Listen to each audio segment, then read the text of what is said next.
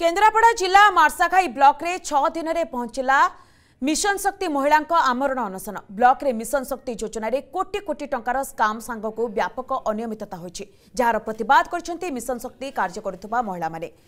MBK CRP ଏବଂ bank ମିତ୍ର ନିଯୁକ୍ତିରେ ଅର୍ଥ କାରବାର କରାଯାଇଛି ଯାହାକୁ ନେଇ ଉପଯୁକ୍ତ ପ୍ରାର୍ଥିନୀ ବାଦ ପଡ଼ିଛନ୍ତି। ଏହାକୁ ପ୍ରତିବାଦ କରି ନ୍ୟାୟ ପାଇଁ ଚାରି ଦିନ ଧରି ଆମରଣ ଅନଶନରେ ବସିଛନ୍ତି ମହିଳା ଗୋଷ୍ଠୀ। ଆପ୍ଲାଏ କରିଥିଲି ସିଆର୍ପି ସିଏମ୍ ପୋଷ୍ଟରେ ଆମ ଉପରେ ଅନ୍ୟାୟ ହେଇଛି। ଆମେ ଆସିକି ଛଅ ଦିନ ହେଲାଣି ଏଠି ଧାରଣାରେ ବସିଛୁ ଆମ ପ୍ରତି କେହି ବି ଧ୍ୟାନ ଦେଉନାହାନ୍ତି।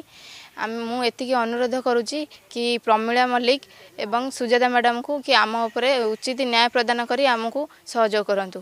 ଶେଷରେ ଆମେ ଏମିତି ବସି ରହିଥିବୁ ଯେପର୍ଯ୍ୟନ୍ତ ଆମକୁ ନ୍ୟାୟ ନ ମିଳିଛି ଆମେ ଏଇଠି ସୁଇସାଇଡ୍ କରିବୁ। ଆଉ କ'ଣ କରିବୁ? ତାଳସଙ୍ଗା କ ମଞ୍ଚରୁ ମୁଁ ସିଆର୍ପିସିଏମ୍ ପଦ ପାଇଁ ଆପ୍ଲାଏ କରିଥିଲି। ମୋର ଶିକ୍ଷାଗତ ଯୋଗ୍ୟତା ଅଧିକ ଥାଇ ମଧ୍ୟ ମୁଁ ଏକ ନମ୍ବର ସିରିଏଲ୍ ଥାଇ ମଧ୍ୟ ମୋ ଦ୍ୱିତୀୟରେ ଥିବା ସେ ପିଲାକୁ ଦିଆଯାଉଛି।